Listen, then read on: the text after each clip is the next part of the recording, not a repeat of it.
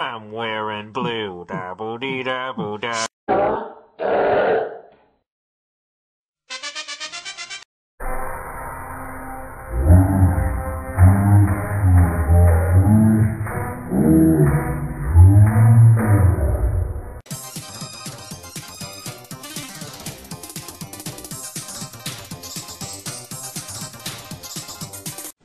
Sorry, man, I'm just not feeling it. It's over 9,000!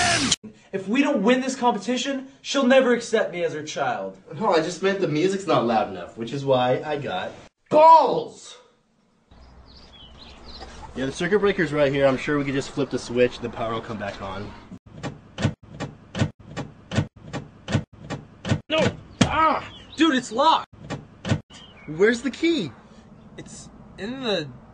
No. No, dude, we can't go in there. We have to. But, but no one's been in the garage 9,000! for years, man! It's either that or we can't practice for the dance competition. Alright.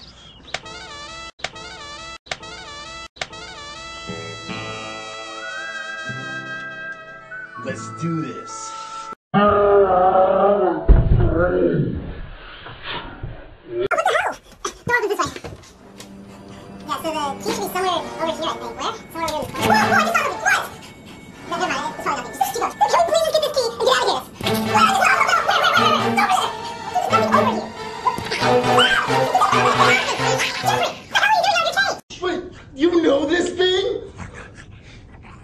Know this thing? I made this thing. Completed my first successful experiment down here in the garage. I spliced my genes with that of a lobster and created Lobster Hands Boy. He was a mild success, but after he was involved in a horrible petting zoo accident, I had to terminate him. Best lobster I ever had.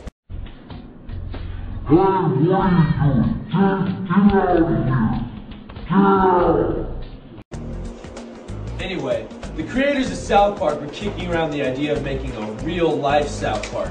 So they contracted with me to make what I called Head Twice the Size of a Normal Boy's Head Boy.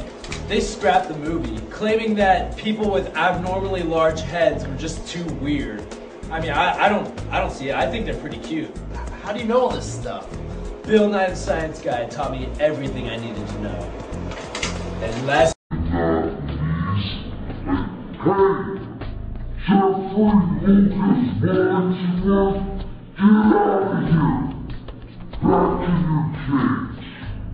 emo and douchebaggery, emo and douchebaggery, emo and douchebaggery, emo and douchebaggery into the mix. And I made him into the abomination you see today. I don't know, I think his band's alright.